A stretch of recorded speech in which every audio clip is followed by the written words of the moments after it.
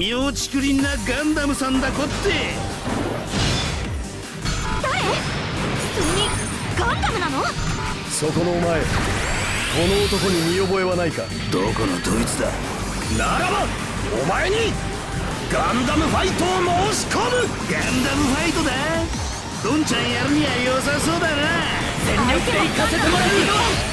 ガンダムファイトレディーゴー小隊長さん相手はハルケーガンダムパイロットのアリー・アルサーシスはフォレスタルビーイングを狙う傭兵で4年前負傷したガンダムマイスターの一人を殺害した張本人。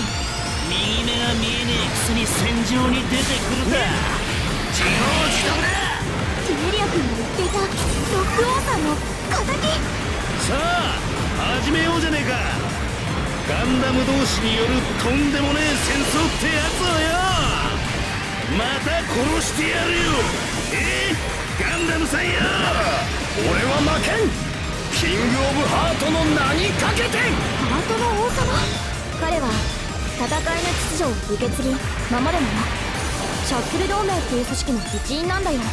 これまで歴史上のありとあらゆる戦いを監視し続け幾度となく人類の滅亡を防いできた戦士たち。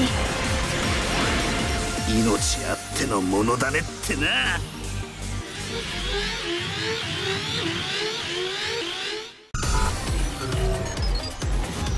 このプレッシャー。敵意をむき出しにしてやってくる。ジオンまさかとってもシロッコ隊員小隊長さんヒーロ君気をつけて。了解。ターゲット変更。ジオ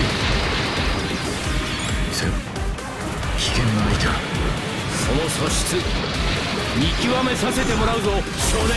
すっごい上から目線。何者なの？グリプス戦役終盤にスターンズの実権を握った。ころで死ん通称木星帰りの男。木星資源採掘艦ジュピトリスのキャプテンで。地球圏を帰還してスターンズに入隊したんだよ。私は次の時代を支配するのは女だと思っている。力を貸してくれるか。初対面ですけどそんな急に言われても。やはり人はより私は世の流れに身を任せるまでのことだ。ジオのブレイクアウトを確認。ブレイク現象にまで身を任せるのはやめてほしい。待って地下から巨大なエネルギー反応。まさかルクイエムが起動？何？ゼロつまらに基地を撃つことはできないようだ